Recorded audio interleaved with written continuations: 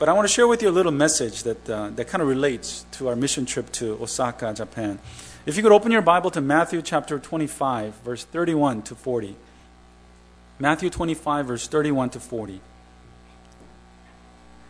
This is a passage or chapter that I read. Every time I read, read this passage, it really, really blesses me and it challenges me. Matthew chapter 25, verse 31 to 40. Let's all read it together. It's a little bit long, but let's read it slowly and let's read it together. Ready? Begin. But when the Son of Man comes in his glory, and all the angels with him, then he will sit upon his glorious throne. All the nations will be gathered in his presence, and he will separate the people as a shepherd separates the sheep from the goats. He will place the sheep at his right hand and the goats at his left. Then the king will say to those on his right, Come, you who are blessed by my Father, inherit the kingdom prepared for you from the creation of the world. For I was hungry, and you fed me. I was thirsty, and you gave me a drink. I was a stranger, and you invited me into your home. I was naked, and you gave me clothing. I was sick, and you cared for me. I was in prison, and you visited me. Then these righteous ones will reply, Lord, when did we ever see you hungry and feed you, or thirsty and give you something to drink, or a stranger and show you hospitality, or naked and gave you, give you clothing? When did we ever see you sick or in prison and visit you? And the king will say, I tell you the truth. When you did it to one of the least of these, my brothers and sisters, you are doing it to me. You're doing it to me. You know, I've mentioned this during the Christmas season, but you know, it's strange that why is that during Christmas season that we exchange gifts to one another? Because Christmas, we're celebrating whose birthday? It's Jesus' birthday. And I've said this to my children on a few occasions that, hey, why is it that you're getting a present on Jesus' birthday? And I mentioned this also in the past in America. And when I tell this to church members, you know, they're like, yeah, that's true, that's true. But the next obvious question is then what do we get for Jesus? We're celebrating Jesus' birthday, then we are to get Jesus' presents. But really, what do you give to a God? I mean, think about it. Can you give him a bicycle? you know? I mean, he created the universe with a simple word. You know? He can move a mountain probably with the blink of an eye. What do you give to a, an almighty God, a creator, the maker of everything?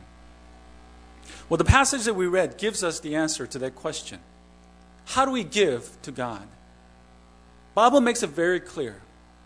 When we give, when we serve, when we help the least, God says, then you are, it is just as is same as doing it unto me when we help the poor, when we give to the needy, when we serve the, the rejected, God says that's just like doing it unto me.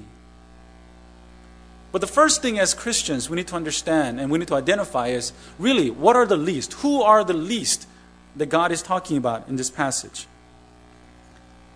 One, one of those are literally are those who have the least such as the poor and the homeless. God is telling us that when we give to the poor, when we help the needy, when we serve the homeless, God is saying that it is just like doing it unto me. The second thing that we can get from this, second thing is who are the least is it is those who are ignored and overlooked.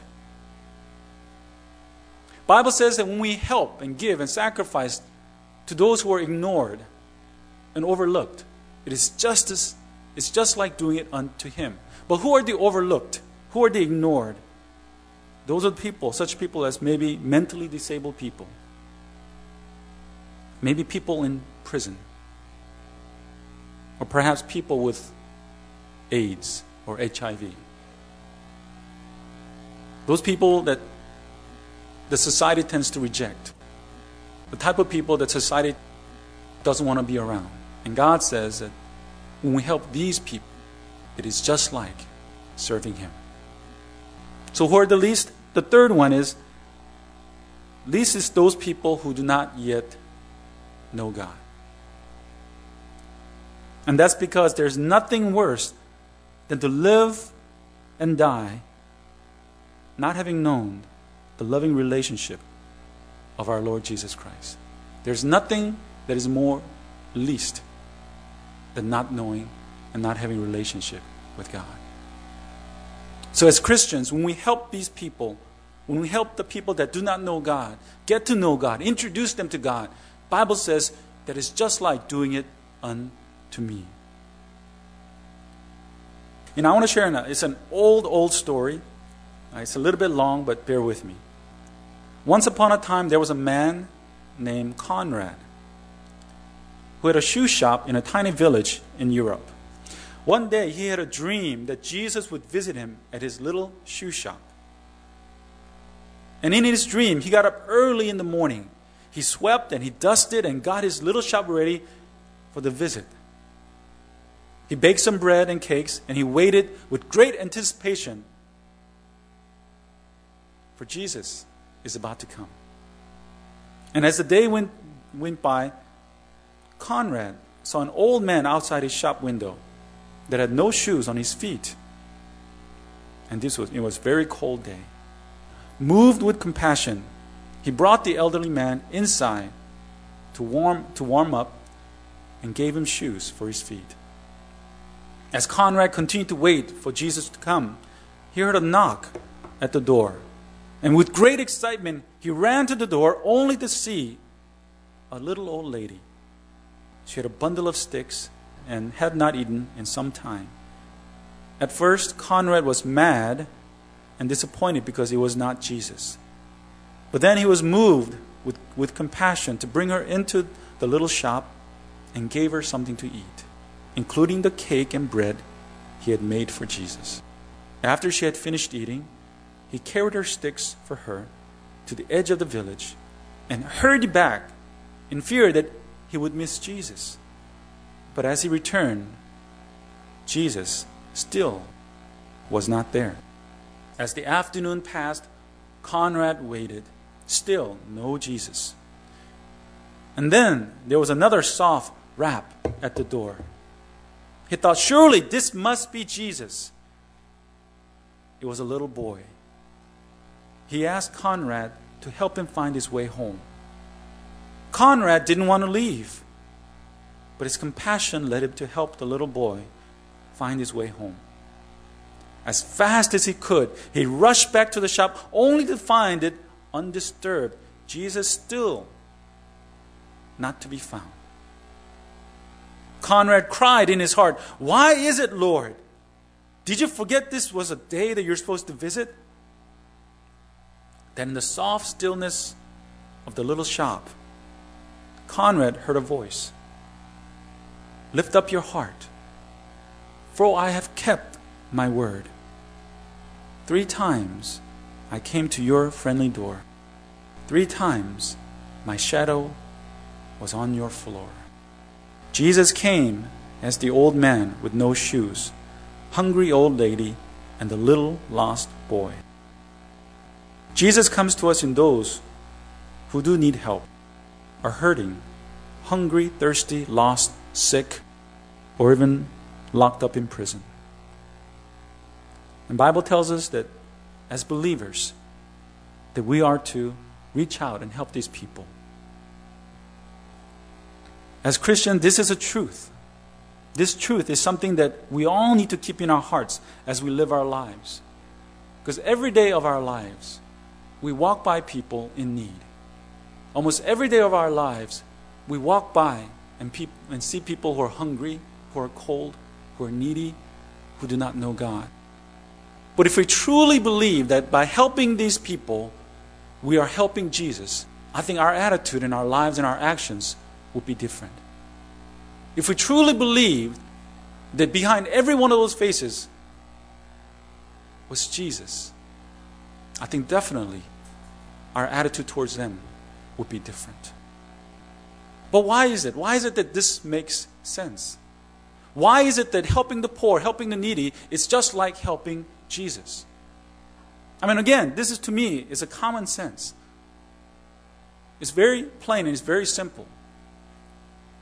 You know, being a pastor is difficult, but I'll tell you this being a pastor's wife is even more difficult.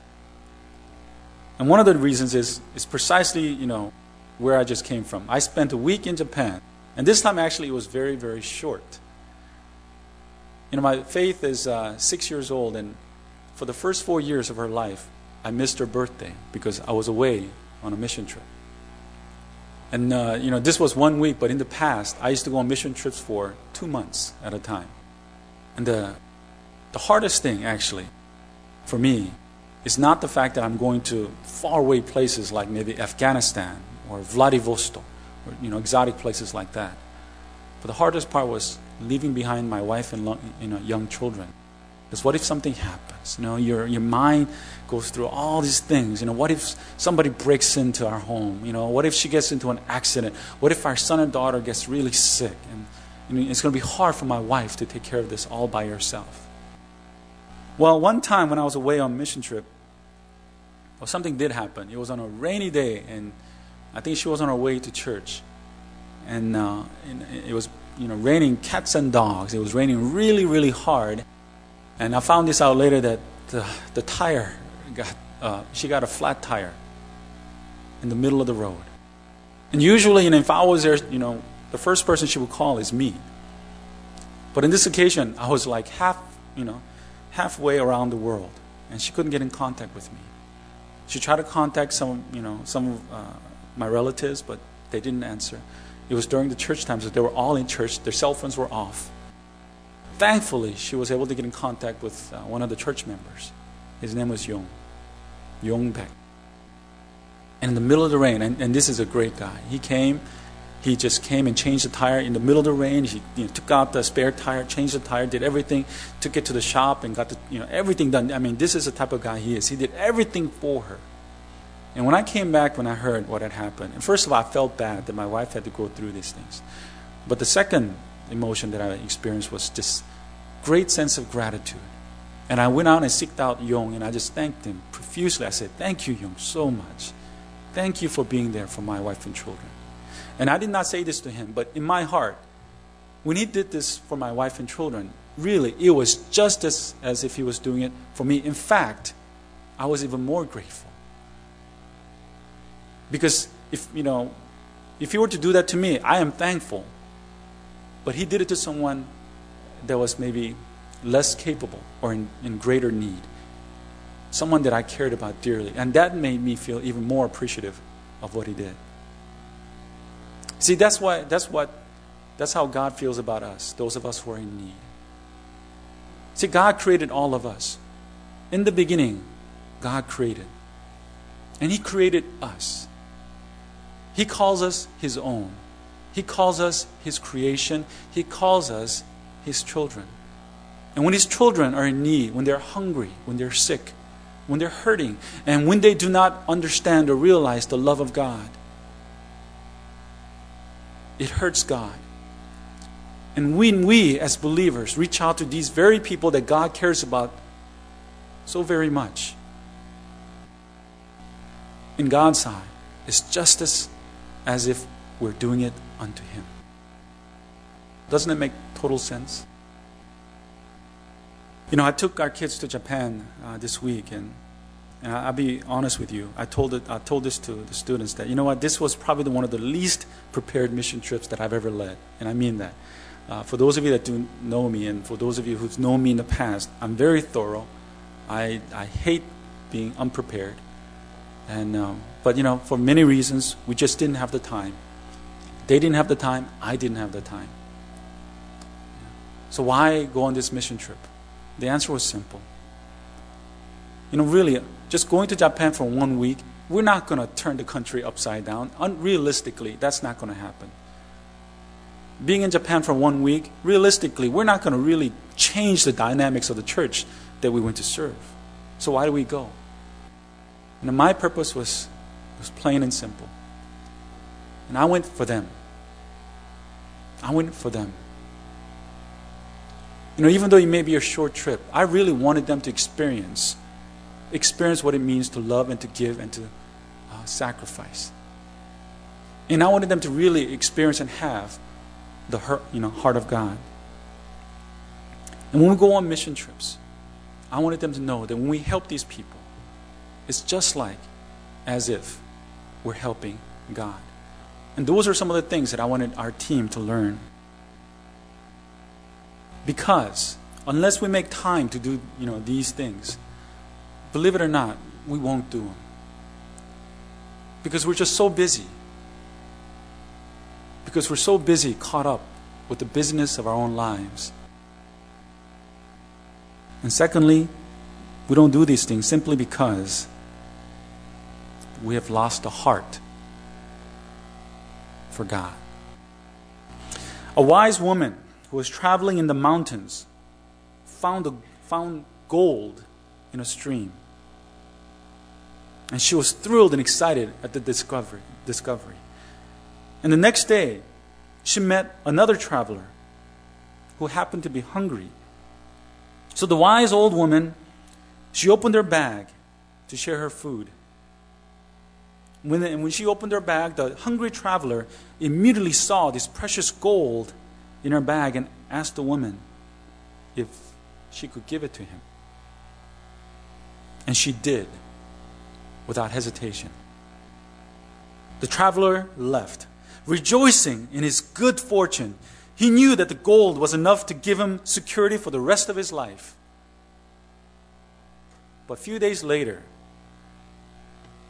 he came back and returned the gold back to this wise old woman.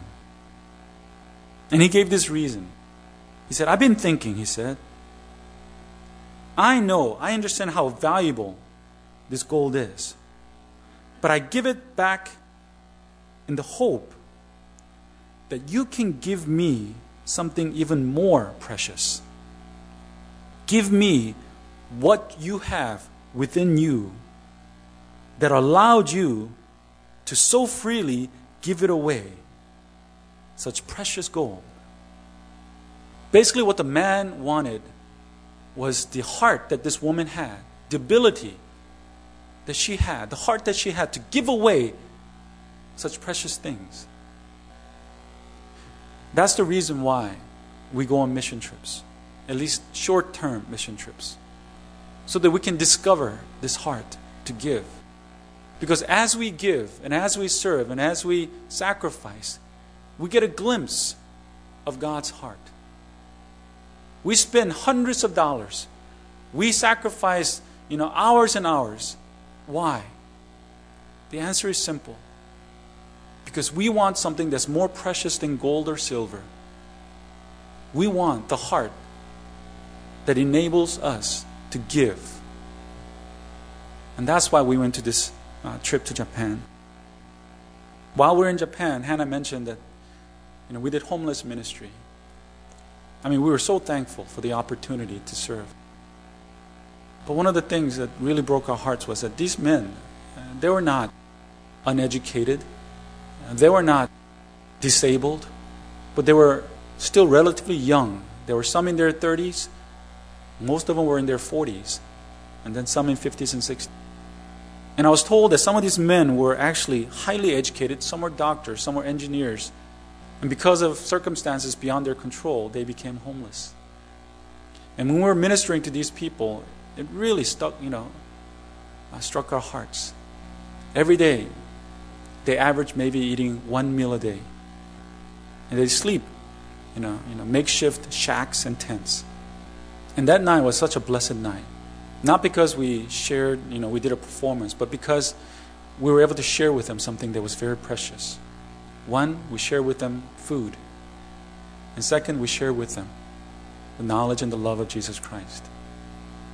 And I tell you this after that evening, people that were the happiest were not the people that were fed, not the people that sat and watched us, but the happiest group of people were us. Because we, at that moment, we discovered this joy. We discovered that there's something more precious than gold and silver. And that is the heart and the love that enables us to give freely. And that's why we went to Japan, and that's why we went to serve. We want the heart of God. Matthew 25 says, When you did it to one of the least of these, my brothers and sisters, you were doing it unto me. And that is the truth that I wanted our team to discover during this mission trip. And I'm just so thankful. I am so thankful that again, God was so faithful to bless us throughout this trip.